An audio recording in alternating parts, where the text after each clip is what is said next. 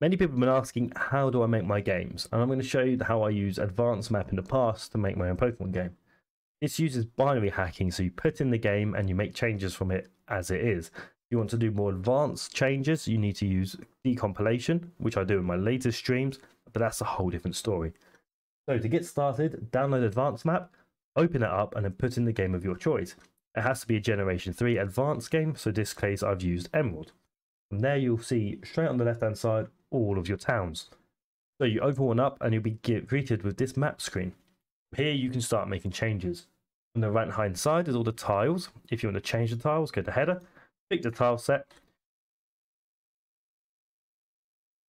change it, and then just like that, it will look different. Obviously in this case, it's going to look strange because it's going to change the existing tiles to something else.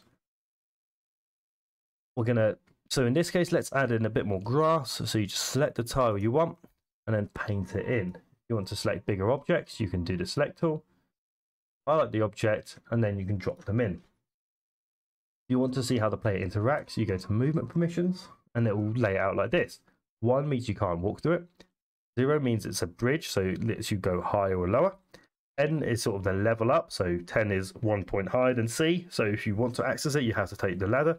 And then if you're in somewhere with water, let's go to the town up you would have number four.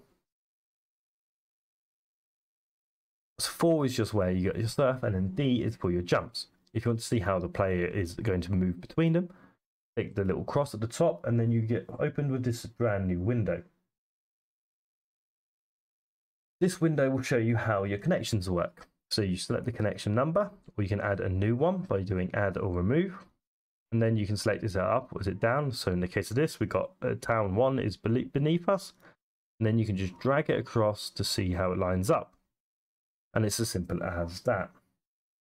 If you want to add wild pokemon into your game just go to wild pokemon pick the lowest level the highest level. The chance of finding one in the grass so in this case 7% and going all the way up to 100 and then you can also pick from a drop down box of pokemon. For this example i can go up to generation 8 because of the version of Advance Map i have you want to change events, this is your trainers or signposts, just go to events.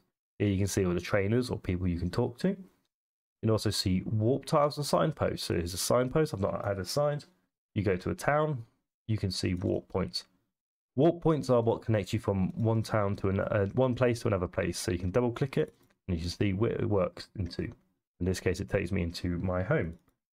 That's sort of the very basics you need there is a header for the more complex metadata, change the size of the dimension of the tile set. Otherwise, you can start opening a game and making changes to it how you see fit. There are other tools I can go into which let you change trainers easily or let you do scripting using XSE. Or if you want to see how I've been doing it on my live using decompilation, I can always go into that. Otherwise, leave a comment to see what you think, and I'll see you next time.